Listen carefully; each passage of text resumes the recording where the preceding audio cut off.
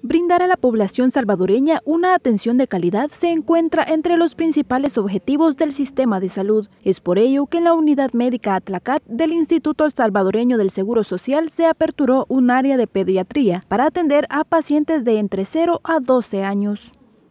Este espacio en este momento para nosotros y para ustedes es valiosísimo porque necesitamos aislar a los niños del resto de la atención que se está dando en esta unidad médica. Yo sinceramente quiero agradecer de todo corazón a todo este equipo, quisiera verlos a todos, no solo el área de pediatría, sino a todo el equipo que trabaja en esta unidad. Los trabajos de esta obra iniciaron en febrero. Las instalaciones cuentan con sala de espera, emergencia pediátrica, dos estaciones de enfermería, área de inyecciones y curaciones, entre otras que son de vital importancia para la atención de los pacientes.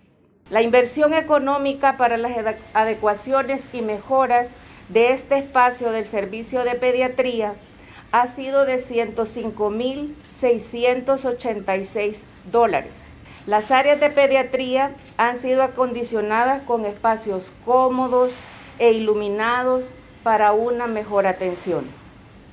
Se han instalado pasamanos en rampas peatonales para la movilización de los pacientes. Durante el evento, la directora general del Seguro Social también envió un importante mensaje al personal de salud que se encuentra luchando en primera línea contra la pandemia del COVID-19.